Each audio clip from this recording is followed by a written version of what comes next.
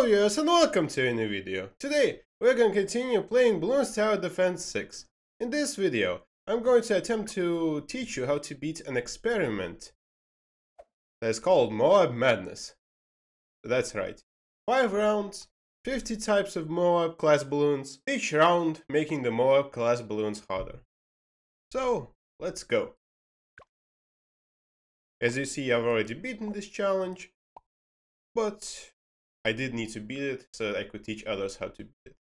So for starters, we're going to put down a Boomerang Monkey and upgrade this Boomerang Monkey into a Glaive Lord with faster throwing, or in other words, a 5-2-0. Afterwards, we're going to set up a Monkey Village and turn it into a 2-3-0 village. Why? Well, Monkey Intelligence Bureau is a very nice aura. Oh, that was a voice crack there. Monkey Intelligence Bureau is a very nice aura, and Jungle Drums will make it so that the Glaive Lord will attack faster.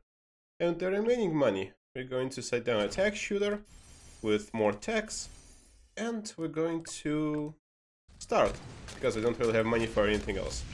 As soon as possible, we're going to get the Ring of Fire, so that this will clean up any fodder and do quite a bit of damage to the Moab balloons by itself. Afterwards, we're going to get a Dartling Gunner and work our way up towards a 5201. However, we don't have money for it quite yet, so we're going to make do with what we have. By the end of round 2, or in the middle of it, you should be able to get the Plasma Accelerator upgrade, which will increase its DPS quite a bit. Also don't forget to lock it to the start of the way, so that it will get as much DPS as it can. So while these fortified DDTs look extremely scary, they're nothing compared to this defense. And even if the balloons get by after popping a DDT, it's inconsequential because the Ring of Fire is going to finish them off, along with the Dartling Gunner, if worst comes to worst. So, we've beaten round 3, that was easy. Now, round 4 has 50 ZOMGs. Now this thankfully isn't scary, and this round will give us a lot of money, trust me. So we started around with 26k, 27k, and as you can see here, our money is just rising. We're getting so much cash right now. Thankfully, it's going to be enough to get the good old Ray of Doom that we have wanted to acquire to win this challenge.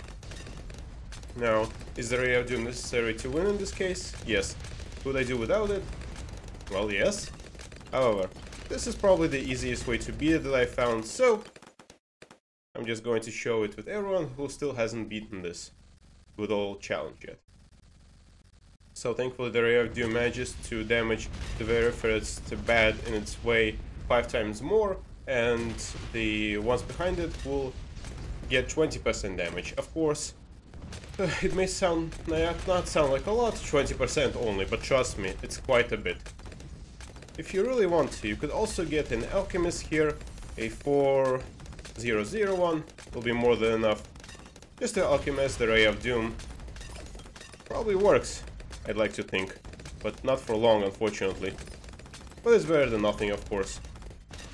It's also possible to get a Call to Arms here, and buff our remaining towers.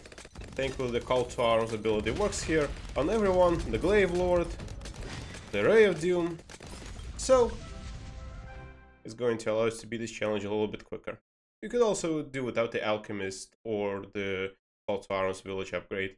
So if you enjoyed the video, thank you for the view, and I'll see everyone else I plan on doing. So, goodbye everyone.